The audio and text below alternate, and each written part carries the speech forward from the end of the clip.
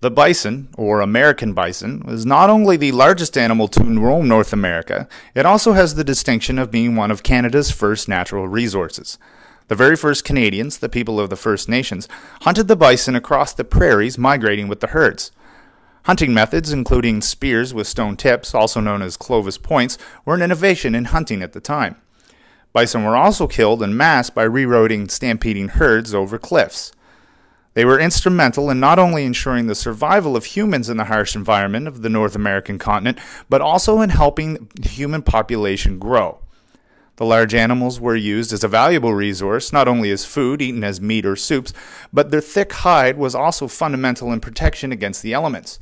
Thick coats were made, as well as the drying and stretching of their pelts to create covers used in early housing.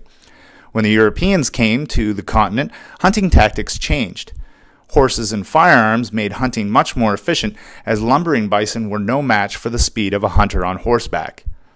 The buffalo became a resource that was quickly exploited, fueling growth in early Canada as meat and furs became a commodity. With the construction of the railroad, bison product was able to be moved much more quickly.